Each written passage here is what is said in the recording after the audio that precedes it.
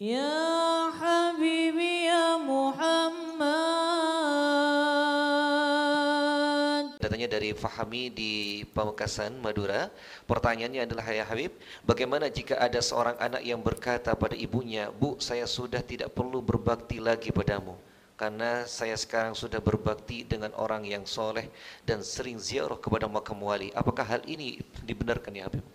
Ini ucapan orang jahlun murakabun Bodoh yang melampaui batas. Anda berbakti kepada wali terbesar di dunia ini. Jika Anda durhaka sama orang tua Anda, Anda di neraka. Gak manfaat bakti Anda kepada siapa pun. Ridallah fi ridal walidain. Ridhonya Allah bagi anak itu ada di ridhonya orang tua. Aulia sedunia ridho dengan anda. Orang tua anda nggak ridho dengan anda. Neraka tempat anda. Nggak bisa ridhonya aulia mengalahkan ridhonya orang tua. Murkanya orang tua nggak bisa. Tapi untuk istri ridho Allah fi ridho zauj. Untuk istri perempuan yang sudah menikah, ridhonya istri ada di ridhonya suami. Siapa pun ridho dengan anda wahai istri, jika suami anda tidak ridho, tempat anda neraka.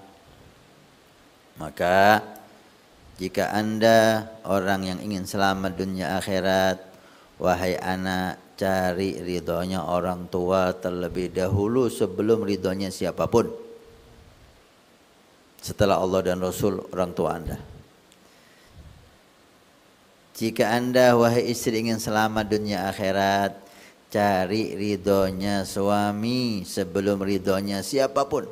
Anda akan selamat dan di surga. Ini ajaran Allah dan Rasul.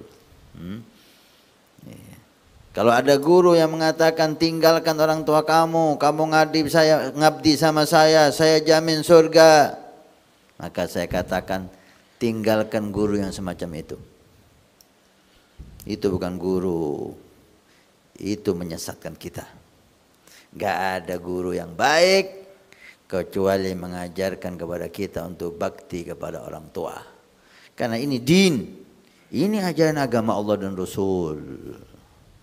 Nah, mudah-mudahan Allah memuliakan kita untuk berbakti kepada orang tua kita dan memuliakan istri-istri kita berbakti kepada suaminya.